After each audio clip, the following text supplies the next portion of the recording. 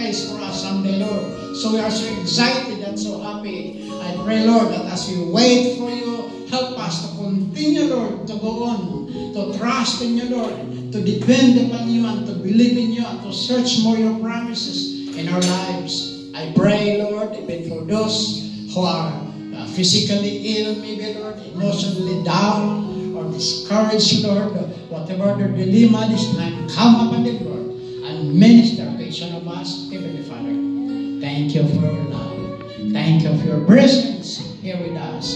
We give you all the glory and honor, Lord. Bless us as we continue in our worship service. We always welcome your presence in our midst this very hour. In Jesus' name, amen. Short, death is your, sin is the cause, but Christ is the cure. Yeah, mm-hmm. that is good. So we are here for our announcements. Happy. And lately, okay, uh, we can cook some patutin.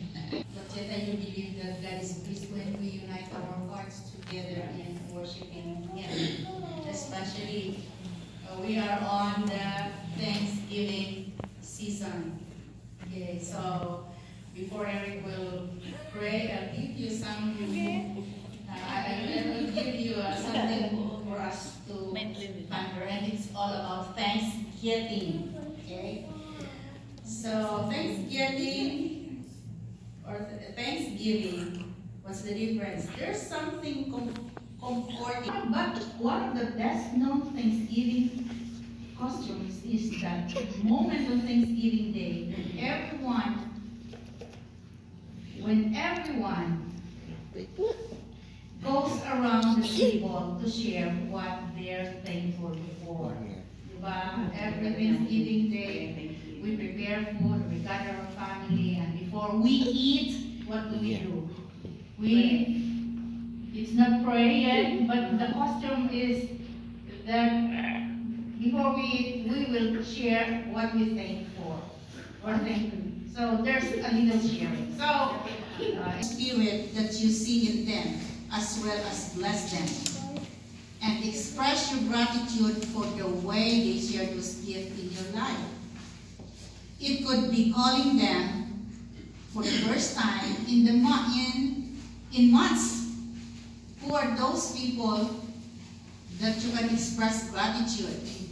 Maybe your loved ones. Maybe some families or siblings are not getting along for months and they don't have any communication. So maybe it's time to call them. Uh, or maybe sending text, thanking them out, taking them out to lunch or some other things. Uh, utter, thank you, thank you. It's a word or two during Thanksgiving dinner. Sometimes when we say intentional, it's from our heart. Whether we like it or not, or it seems hard for us, we'll do it. Uh, we certainly got a word. Something to reflect on about our attitude and some other things in life. Let us pray. Heavenly Father, we thank you for gathering here, being able to gather here today. Those of us who are able to make it, we're strong and well, and we're still alive and able to do things, and we still have hope even in these trying times. And we thank you for the provision that you have provided. This I have long prayed for, and here it is. And I'm so thankful for that. That's number one. That you are always there. No matter what I do or the circumstances surrounding what I think, it doesn't matter. We know that you are able, and we must ref- reflect upon that and remember this.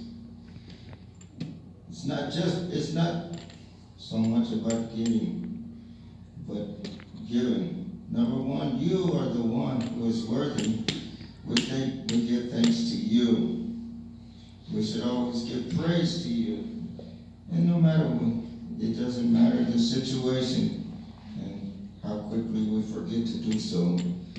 So we just ask you for forgiveness of the times when we are lax mm-hmm. and praising you, and remembering the good things, and our attitudes, and this message that we just been given is a reminder of that.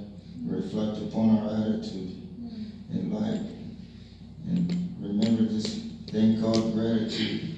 It motivates us, help us to do what we ought. Even as Paul said, not be